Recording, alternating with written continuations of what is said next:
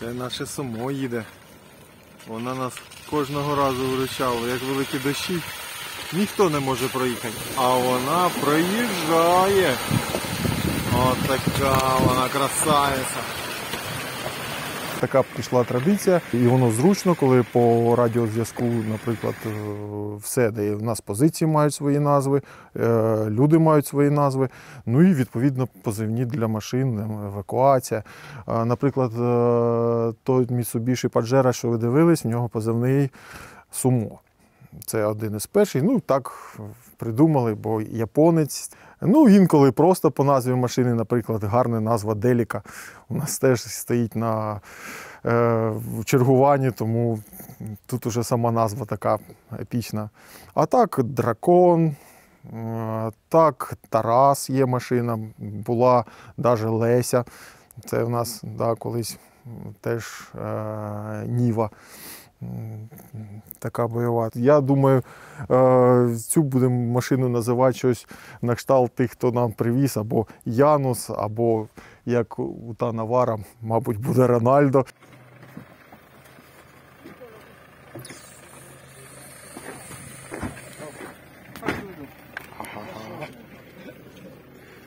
Так, ще раз.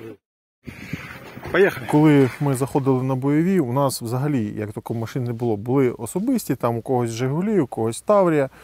І у ротного нашого метала був Жигуль копійка. Як вже на позиції виїжджати по грязі, застрягали. Е, взагалі досвід показав, що е, такого роду машини вони є найоптимальніші для е, нас. Я думаю, загалом. Е, Коли везуть великою вантажною машиною, її чутно далеко, видно далеко, під'їхати до позиції близько неможливо.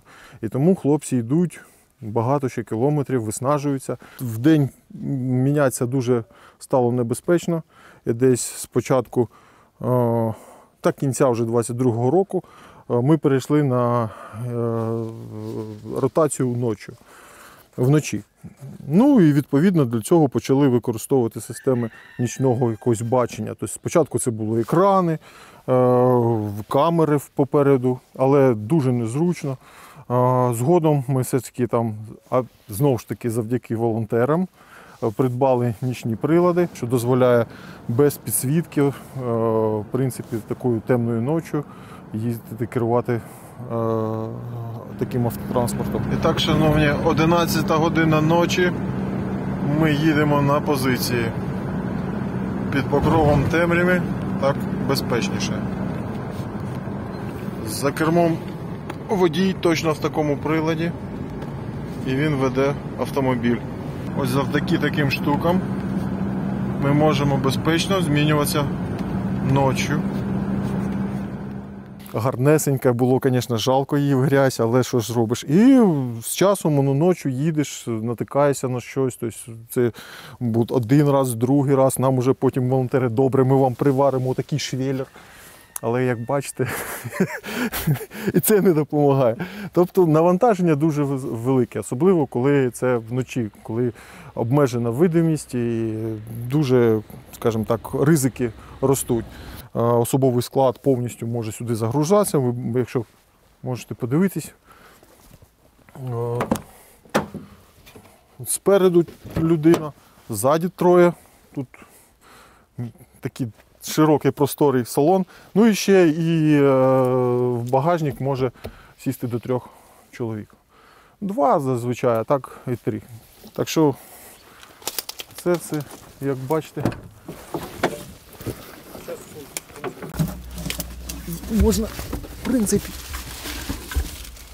так, таким чином. Ну, зазвичай тут речі складають багато речей, бо везуть, вивозять на позицію багато і зброя, і води запас. Ось Mitsubishi Pajero, дуже файна машина. На гражданки можна було б козиряти. Але у нас трошки інші умови, тому і ставляться інші задачі. Як бачите, всі ці люксові речі, вони у нас заліплені е, то скотчем, то бумагою, то закриті. Це зроблено з метою, щоб прибрати повністю любе зайве свічіння, тому що навіть невеличке світло невеличкої сили у, у в нічний період, ну, по темному, е, в приладі він сяє дуже яскраво і сліпить е, водія. Деякі кажуть, що у вас так багато машин? Скільки ж можна? Ну скільки от вам давай, давай, все мало і мало. А насправді, якщо, наприклад, три машини виїжджають на позицію, вивозять особовий склад, це я вам скажу вже не повний, скажімо так, е, підрозділ, е, якщо на роту. Ну, наприклад, я. Плюс є машина евакуації, що вивозить поранених спеціально. Е, Це окрема машина. Це вже чотири машини. Якщо щось стається, не дай Бог з якоюсь машиною, має бути е, стояти в запасі машина, яка от сів і поїхав, ту замінив, забрав хлопців або ту витяг, і вона вступає в роботу. Але ж вони ламаються ж. І виходить, якась машина має стояти в цей час на ремонті і ремонтуватися. А це зазвичай далеко, бо гнати в Дніпро приходиться. Тому, щоб не ризикувати, в нас запас має бути в три, а то й в чотири рази більше, ніж той, що працює, кількості машин, що працюють. От. Але ситуація, як була цієї зими, показала, що навіть цього замало. В минулому, як наші люблять казати, житті, да, е, я був, в принципі, я і зараз є, і числюсь е, як е, старший науковий співробітник Інституту чорної металургії міста Дніпра, ну, Академії наук е, України. В принципі, е, той досвід, що був там, він тут теж знадобився. Тобто я ще раз нагадую про ту гнучкість, про ту винахідливість, про е, ту швидкість реакції, яка тут треба. е, Придумувати щось. Досвід показує, ми тут вже відчуваємо, бачимо, можемо давати вже порадами виробникам, наприклад, тих же самих ребів, давати поради виробникам тих ж платформ е, дистанційного керування. Тобто по термоплащам, наприклад, теж проводили досліди, теж е, виробникам давали раду. Ну тобто, в якомусь сенсі воно тут відіграє свою роль. Я для себе зробив такий висновок, що мотивація йде тут перше тут формується, тому що там наші хлопці, їх треба міняти, їх треба захищати.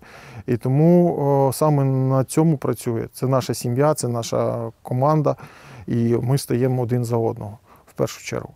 І оце основна мотивація.